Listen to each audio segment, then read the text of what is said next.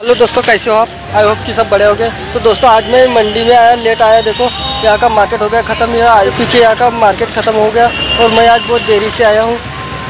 तो चलते करते अब मंडी की सैर और आलू भी आने का है तो आलू लेंगे और फिर चलेंगे अपने घर में। मगर उसके पहले आलू, आयुष का डांगरू मंडाते हैं गाड़ी पे। जरा है, हर चीज़ खास है, अब है जो है वो समा है, तुम रह सकी तो रबा है। अब है जो है वो समा है।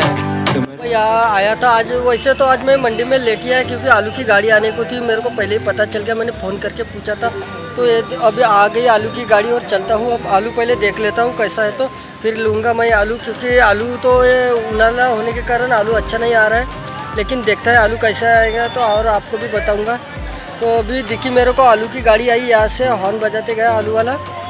देखो मेरे पीछे शैलेश अपनी गाड़ी लोड कर रहा है और शैलेश के गाड़ी वालों का माल हो गया और शैलेश है अपनी गाड़ी लोड और निकल रहा है घर। मैं भी अपने आलू ले लेता हूँ और निकलता हूँ घर के लिए। सबकी नज़र यहाँ है, हर चीज़ राज है अब है जो है वो समा है, तुम रह सकी तो रबा है अब है जो है वो समा है, तुम रह सके ऐसी जी अब चाहे ज़िंदगी ज़िंदगी है।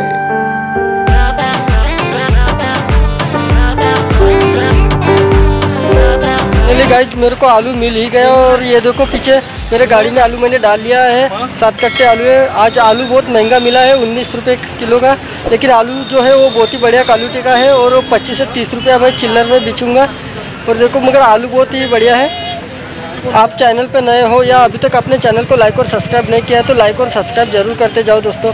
आपका सपोर्ट ही है जो मुझे आगे बढ़ने में और प्रेरित करता है। तो अपना सपोर्ट मेरे लिए बनाए रखो। दोस्तों, आज के लिए बस इतना ही। कल फिर मिलते हैं नेक्स्ट वीडियो में। तब तक के लिए जय हिंद दोस्तों।